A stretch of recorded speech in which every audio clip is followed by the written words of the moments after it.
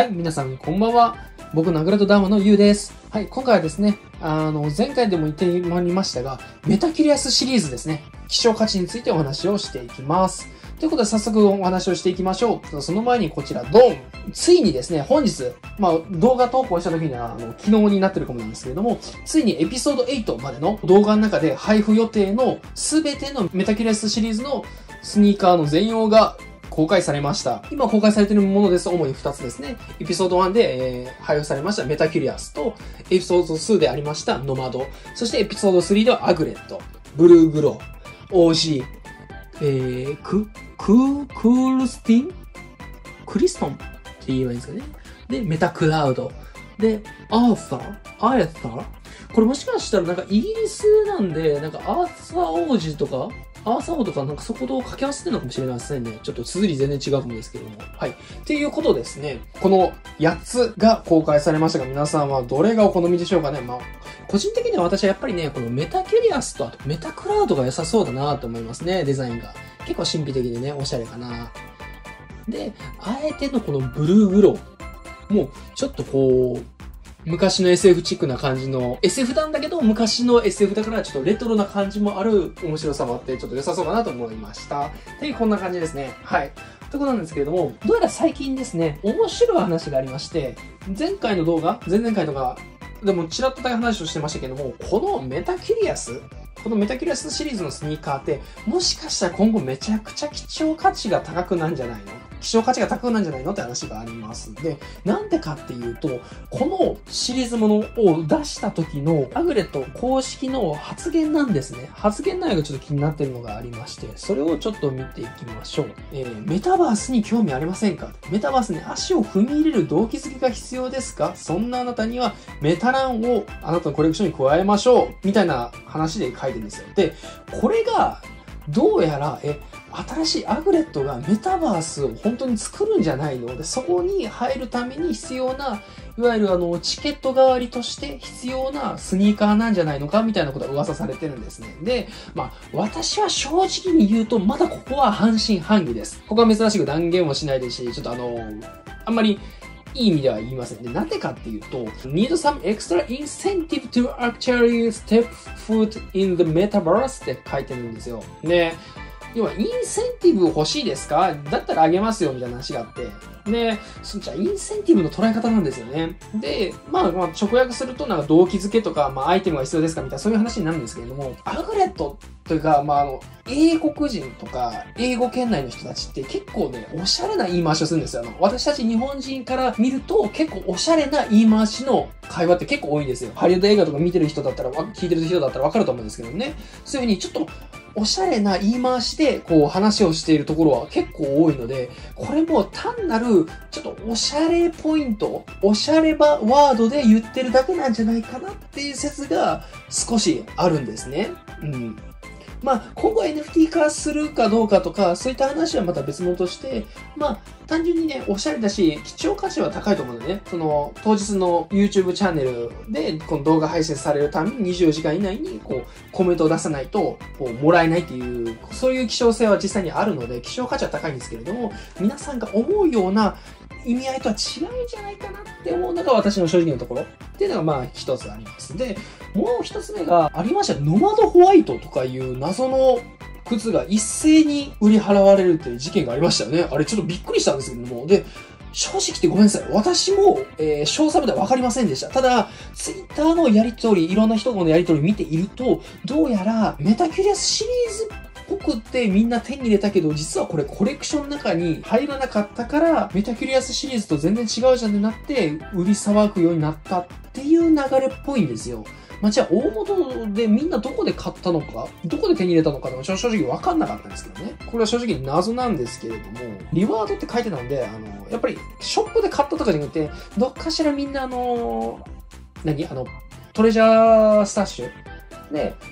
手に入れたものだと思うんですね。で、もしそうだとするならば、ちょっとした、まあ、ユーザーの反響を調べるために運営がお茶目で出したものだったのかもしれないですね。まあ、ただどっちにしても Metacurious シリーズには加わらないっていうのが分かってしまったので、売りさばかれる運命になってしまったみたいな話なのかもしれないです。ちょっと、まあまあ、どちらにしても言えることが、まあまあ気にせずに行きましょうって話ですね。はい。ということでございます。で、3つ目なんですけれども、実はですね、このMetacurious シリーズ、 Metacurious しかまだ売られてないです。というか、配布されてないんです。というのもですね、実は、2回目ありましたね、 Nomad。で、私もやったんですよ。で、24時間以内にちゃんと動画上がった、 Aglet の YouTube チャンネルに上がった動画を見て、それでちゃんとコメントも出して、で、名前もコメントに書いておいて、いや、通知連絡をつくようにして、で、登録もしてたんですけど、YouTube。でも来てないんですよ。で、どうやら、運営側がなかなか今、運営が成り立ってないらしくって、というか、カウントがね、うまくできてないらしいんですよ。で、実際に今、この動画に写真で載っけてると思うんですけども、実際にね、このディスコード内でもそういうやりとりがあって、どうとやら日本人だけに起きてるのかな、これは。日本人がこれで困ってますよ、で、実際にコメントちゃんと入れてるのに、うまくカウントされてなくて配布を、ま、待ってる状況ですよ、みたいな話も出てきてて、だから、なんとかこれ解決しましょう、みたいな動きもやってるんですよ。で、実際に私もこうやって今、ここに上げてると思うんですけど、こうやって質問を私も直接かけたんですね。まあ、律儀にちゃんと英語で出して。で、そしたら、やっぱり、もうちょっと待っててください。で、ちなみにエピソード2の方はまだ配布してませんよっていう書き方してますよね。そういう書き方で出てきているので、だから、もっと待つ必要があります。で、おそらくは、今週の土曜日に新しい動画が出ると思うんですけど、そのタイミングでもう一回運営が確認し直すと思うんですよ。それで、ちゃんと24時間以内にコメント出してくれてた人だったら、だから私とかは無事に配布されるとは思うんですけど、なので、他の皆さんも実は配布されなくて困ってたんだ、不安だったんだと思う方は安心してください。ひとまずは待ちましょう。で、それで待ってからまた何かあったら、まあ上にここに行きましょうということでございます。はい。まあでもね、ここ他のツイッターでちょっと仲良くコメントさせてもらった方も、やっぱりそこで不安になってたようで、それでやり取りもしてたんですけども、やっぱり実際にね、あの、私もそうです、その方も、もう一人の方もそうですし、ちゃんと正直に相談したら運営はちゃんと遅くてもね、あの、メールというか、あの、連絡して返信は出してくれるっていうのが分かってくれたので、他の方も。だからやっぱりそういった面でも、こういったクレーム対応というか、トラブル対応も、まあ遅いながらでも必死にちゃんと真摯に対応してくれるところは、やはりアクレート、ちゃんとした企業だなっていうのは私は思いましたね。だからそこは逆に株が上がったかな、みたいな感じで思ってます。はい。っていうことでございました。で、最後ちょっこっとだけおまけなんですけれども、まあ最初にね、あの、 Metacurious シリーズ別に、まあ大したものじゃないかもね、みたいな。なんかみんなが思う以上に、あの Aglet のが本気でメタバース作り上げようとしてるんじゃないか。その中に踏み込むための素晴らしいスニーカーになるんじゃないかっていう、その可能性もしかしたらない、ないかもねってさっき言ったんですけれども、けれどもなんですよ。けれども、動画皆さん見ましたか？あの、ちゃんとコメントだけ入れるんじゃなくて、ちゃんと動画は見ましたでしょうか？えっとですね、前回、前々回とかで、あの、まあ、メタバース関係の話とか NFT とか、まあ、要は、結局 NFT ってなんだっけだとか、ザ初心者向けの、まあ、NFT だとかメタバースの価値、今今後どうなっていくのかみたいなのを、面白い、なんか、アメリカ風のミーム、まあ、イギリス系の風のか、まあ、ミームも使いつつ、いろいろ面白おかしく表現して説明してくれてるものであったんですけども、まあ、タイトルからあるように、まあ、今までの皆さんを誤解してますよ NFT のことをみたいなことで書いてたりしてるのでこれはちょっと真面目にアグレットがメタバースについて、まあ、NFT についてひいては Web3.0 ですね。新しいネット社会についてのアドバイスをするというか解説をしていく私たちに Aglet っていうこの NFT ゲームを通して Move to Earn ゲームを通して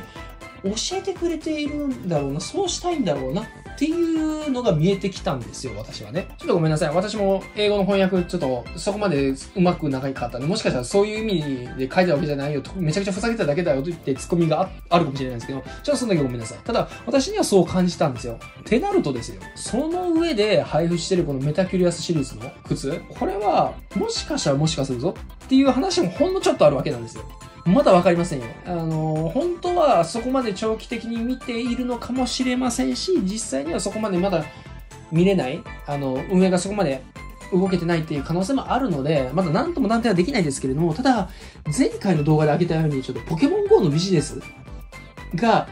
アグレットもできるはずだみたいな話を出したんですけれども、あれで、コメントもでもちょこちょこ、あ、だから企業名入ってるところがあったんだとか、だから吉野家の近くにあるんだとかって話があって、もしかしたら私たちが思う以上に、ちゃんとポケモン GO のビジネスをもうすでに始めているのかもしれないとか、意外と思う以上にいろいろビジネス動き始めてんじゃないかなっていうのが見えてきてるんですよ。ってなったら、もしかすると、もしかするんですよ。じゃあもしかすると何が起きるのかっていうと、メタバースはメタバースなんですけども、もうちょっと踏み込むと、土地絡みじゃないかなと思ってて。というのもですね、デイブさんだっけな？このアグレット運営のトップのデイブさんと、ちょっと親しいような、あの、ツイッターの人たち、人の会話とかを見ていると、もしかしたら今後アグレットってこう NFT のスニーカーだけじゃなくって、土地の方にも関わってくんじゃねえかっていう予想を立ててきてるんですよ。ここはちょっとあの正直何歩も先の本当に長期的な目線なので、本当に長期的な目線なんで、全然また先ですし、あの正直そこに関して私エビデンスを持ってるわけではないんですけれども、そういった話も出始めてるので、でも確かにですね、サンドボックスとか NFT ゲームの先駆けだったところだったら、本当に NFT の土地の売買でこう利益をもたらしてどうのこうのみたいな話はあったじゃないですか。で、あんな感じになるのかもしれません。で、これメタバースっていうワードを使ってるってことは、メタバースっていう、まあ、世界を作りたい。まあ、要はあれってデジタルの世界を作り上げるってことなんで、ってなるとじゃあデジタルの世界に必要なのって空間じゃないですか。まあ、空間に必要なのってなったらまあ土地じゃないですか。もしかしたらアグレットがスニーカースニーカーって言ってるのはそのメタバースの土地を踏み踏みしめるためのまあ靴としてまずは靴から履いてもらいたいっていう思惑ももしかしたらあるのかもしれないですよねっていうのは確かにあるんですよ。で、まあ、実際アグレットがこの靴だけで終わるように正直思えないでね、本当に NFT やるんだったらやっぱメタバースの話とかになってくるでしょうし、そこはやっぱり考えてるでしょうね。ただしこれは本当に超長期的な話だと思うので、まだまだ先のことであると思うんで思うんですけども、まあそういった意味では、やっぱりこのメタキュリアスシリーズの靴っていうのはもらえる分だけもらっておきましょうみたいなね、スタンスがいいと思います。えー、ちなみに今私は5つ所持してしまいましたね。だから一足をね、ちょっとあの、売りに出してるんですけどね、誰も皆さん買ってくれないんですよね。このちょっともしかしたら私もこの重要性を言い過ぎたがために、もしかしたら皆さんもう目先の利益よりもも持っておこうっていう、ビットコインのガチ保状態みたいになってるかもしれないですよね。ということで、はい、誰か皆さんこの動画見てくれた、えー、心優しい、えー、有志の方は、どうか私のね、あの、メタキュリアス一足でいいので、ちょっとあのー、買ってくれませんか？ってちょっと私もね、買いすぎたっていうのは反省してるんですけども、ちょっとね、ちょっと私もね、あの、GA 増やしたいなって思いあるのでね、どうか、どうか、どうかやってくれると 嬉しいかななんて思ってます。はい。まあ、半分冗談ですけど、ですけれども、はい。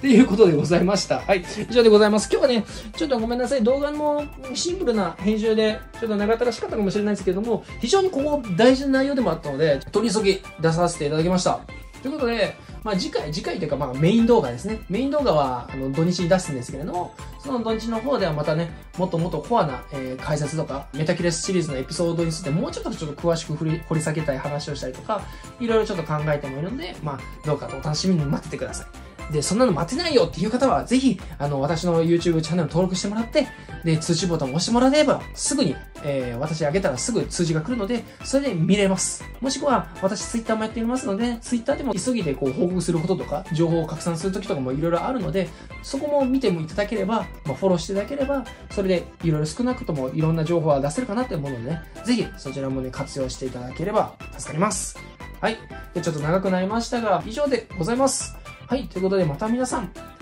さよなら。